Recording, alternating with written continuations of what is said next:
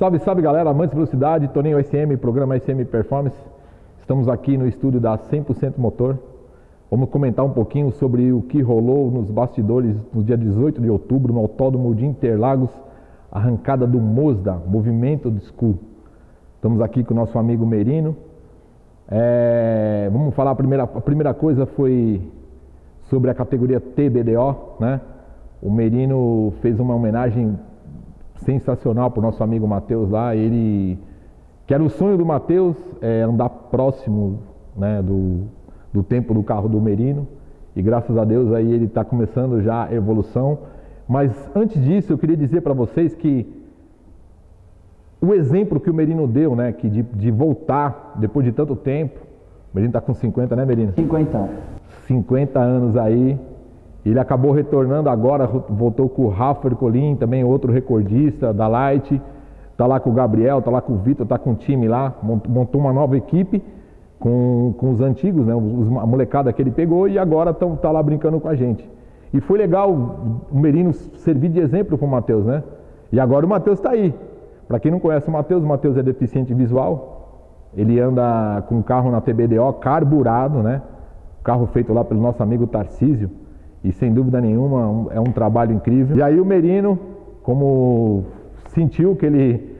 Ele até uma certa parte da prova, na é verdade? Andou meio dia na minha frente. Ele andou, ele andou um tempo na frente, mas o Merino sempre tem aquela cartinha na manga, não tem jeito, né? Aí ele foi lá, fez o que tinha que fazer, mesmo com problema no carro lá, porque essa categoria TBDO é carburada, é muito difícil devido ao fato do pneu radial. São carros 100% de rua. Nada de controle eletrônico. Não tem lastro nenhum, é um carro com a carroceria íntegra, entendeu? Então é muito difícil essa categoria e você vê os tempos de folha, isso prova que a evolução veio, mas levou para caminhos que, que não se encaixam hoje na prova de arrancada.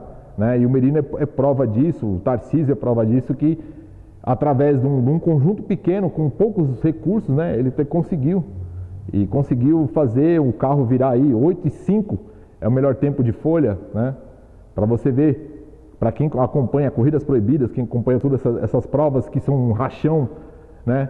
Tem muita gente que tem muito a evoluir, né, Melina? Muito, muito. Conta pra gente aí. Falei pra você, é um evento legal, familiar, muito, muito, muito bom de estar tá participando. É, todo com meus, os caras são meus clientes e são meus amigos. Então poder rever os amigos, tanto com os preparadores como os pilotos, para mim foi sensacional.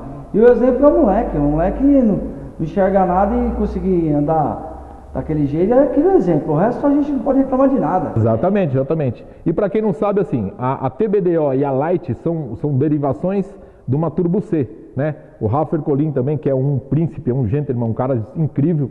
E é fantástico de ver o, o Rafa se ele der 10 puxadas no dia, são 10 puxadas constantes, não é verdade? Puxada no, no carro, qualquer leitura já fala para mim, ele é, um, é, um, é um, mestre daquilo de pilotar. Exatamente. Ali é pilota de olho fechado também. E o detalhe principal, pneus radiais, não tem tratamento, tá? Isso é comprovado, você pode passar o durômetro lá, a gente, vai, a gente tem durômetro, nós temos uma equipe que é o Carlão, o pessoal da vistoria aqui, olha, sensacional. Pista sem cola, sem tratamento. Interlagos não é uma pista fácil de se andar. Mas assim, é, quando se compara, tivemos uma comparação, né, Merino? Todo mundo falou sobre o evento Mosda, o porquê do, da, dessa diferença de resultados, né, com relação à folha de tempo. Porque nossos carros são carros de época que são praticamente originais, então é difícil fazer tudo funcionar, mesmo com a eletrônica. Então o Rafa é um, é um exemplo disso que ele anda com tudo no botão, não tem, é tudo na mão, não tem nada de controle de tração, não tem nada. Larga no acelerador, sabe? Mesmo com o sistema eletrônico. Ele tem uma eletrônica embargada dentro do carro, né? Dentro do, do, do motor, mas na alavanca, gear, bus, não tem nada, é tudo, é tudo manual. Isso daí é uma coisa que, sabe, é, é difícil. Então, é comprovado que tem muitos caras andando na Light lá que estão perdidos, estão desesperados porque não conseguem virar esse tempo. Vai ser difícil, né, Merino? Vai, o pessoal vai ter que, que trabalhar muito, estudar as máquinas, né? É, outra coisa também, o principal disso tudo, a nossa vistoria, tá? Nós temos o bafômetro, nós temos tudo um controle muito rígido. Nós tivemos um probleminha lá e foi sanado por causa disso daí. E daqui para frente nós estamos trazendo é, é, esse perfil de integridade para o nosso evento, entendeu? Então a, a, os regulamentos, você tem que estudar o regulamento, entrar no regulamento, passar na vistoria, não é verdade? Positivo. Até com relação à balança É, os carros são pesados, são tudo corretos ali, então, não é verdade? Altura. É altura, então a coisa é muito séria. É, itens de segurança, Sim. extintor, cinta no, no, no câmbio. Exatamente. Isso daí é uma coisa que está trazendo integridade de volta, né? Vamos falar rapidinho. Tração dianteira original nós tivemos é, nosso amigo Alex Amoroso, né? Junto com a esposa. Estão em evolução o carro, o carro agora conseguiu entrar na casa dos 9 segundos e, puta, sensacional. Imagina para ele a alegria, ele parou de andar de Maverick, voltou de gol. E qual que é o cara que tem o prazer de puxar com a esposa, né? E legal que tá voltando. É mais um. E um outro cara que caiu do fio, que também deu um brilho especial para o nosso evento, que é nosso amigo Marcelo Pantufi. Que é para quem gosta de aspirado, como a gente, todo mundo gosta, né? O pessoal da 100% motor aí, acho que deve curtir demais essa parte dos aspirados, não é verdade? É bonito de ver. Nossa, o Standard é uma coisa incrível, né? Ele andou na, na categoria tração dianteira original, mas ele é um dianteira super, né? Mas como cor de cavalheiros foi muito bacana e ele veio andar com a gente e foi sensacional. Um outro retorno bacana também daqui de, da, dessa região do ABC, que é o pessoal da HG, o Fernando, o pessoal da HG, o Marcão, aquela tranquilidade toda que chega, parece que vai morrer, sabe? O negócio é complicado. Já saiu de, já da garagem também, né? Vou mandar um abraço pro Dr. Dimas da DMAP. Ele ligou para mim que ele, ele não estava no Brasil, por isso que o, o Scott não estava conosco lá, mas nas próximas provas, nas próximas etapas, principalmente no campeonato do Mosda do ano que vem, ele vai estar presente conosco e vai trazer o Escort, tá? Então é, vai ser bacana, vai ser bacana de ver esse carro de perto aí. Quem sabe roncando, né? Aí vai ser a melhor parte. Não é verdade? Tem que pôr o negócio para roncar. Na reta de Interlagos, no sentido contrário, eu andava aquilo lá, hein? É isso aí, nossa, nem me fala. Um outro exemplo legal também, que é o, do, é, que é o Tio Zé, né? Para quem gosta do Tio Zé, o, o Fusca Branco 51, que é com motor a ar, que é motor a vento, né? Como dizia o, o Tremelica. E tá na ativa aí, uns 70 anos de idade, não é fácil para ele andar. Ele virou 7,300. Mas aí ele já está preparando já a, a, aquela boa e velha plaquinha, já está passando para o filho dele, o filho dele vai começar a andar com o carro.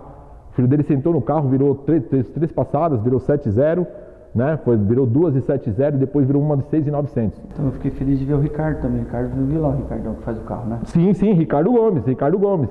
É, tá aí um cara que merece meu apreço, porque pegou o tio Zé num momento difícil, estava meio atrapalhado porque ninguém tinha paciência com ele pelo fato dos 70 anos, né?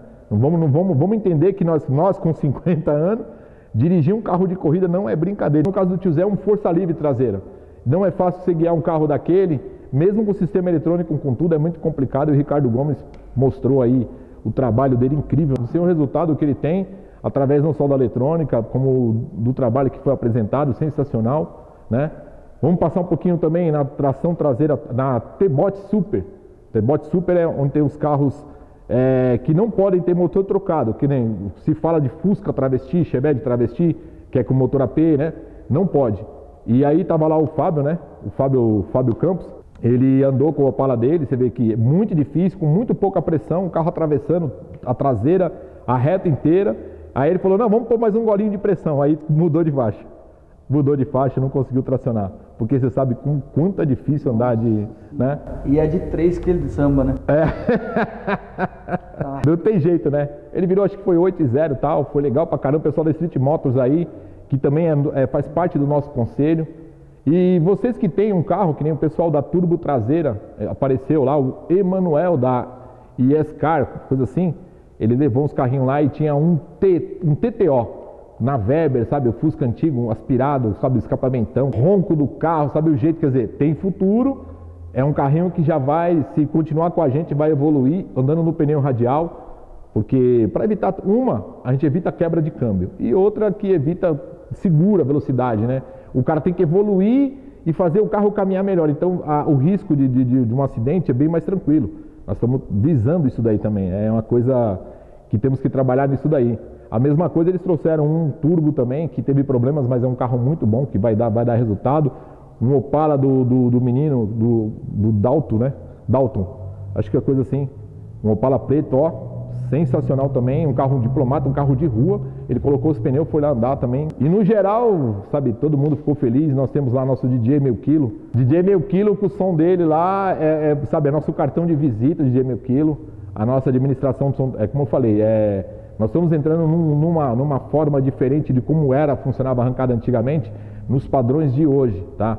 Então, assim, é, Merino, quando a gente começamos o nosso, o nosso evento, a gente falava muito sobre os dinossauros, tá? A gente não é dinossauro, já mudou o conceito. Nós somos old school, porque dinossauro foi extinto, não é verdade? Verdade. Dinossauro certeza. morreu. Então, a gente está vendo na arrancada aqui, né, no, no seu Nós- evento, que não vê nos outros. Exatamente, nós somos old school, é diferente. O dinossauro morreu, está morto. Quem quiser vir, vem. Quem não quiser vir também não tem problema nenhum. Mas a gente está aí para isso, para mostrar que a arrancada é família. Tem 15 puxados. Nossa, nem me fala. E aí, e, e quando é que o menino vai assumir o carro? Eu acho que ano que vem. Aí, ó, tá vendo, né? Tá vendo o que, que vai acontecer? Tá pensando que vocês se livraram da Berino Race? Não, mesmo, não se livraram, não. estamos Ele tá preparando aí. Estamos criando. E eu queria agradecer o pessoal da 100% Motor, né? O seu Zé aí, a rapaziada toda, muito obrigado pelo convite, eu, eu achei sensacional. E muito obrigado por ter comparecido lá com a gente, ter feito umas imagens incríveis. E eu convido o pessoal aí, convido o seu Zé a, a, a comparecer todas as provas com a gente, e lá dar uma volta, não só. Quem sabe, às vezes, dirigir também, porque ele também gosta de máquina, né? Quem sabe ir lá montar um carrinho, beleza? Mais alguma con- consideração? Tranquilo, agradecer a Deus, ao Zé. Tamo junto. E é o que eu digo para todo mundo: Deus é fiel e muito louco hoje e sempre. Acredite nele e vem com a gente que a gente vai se divertir, beleza? Bastante. Abraço, gente. Valeu, pessoal do Moza. Tamo junto. Obrigado.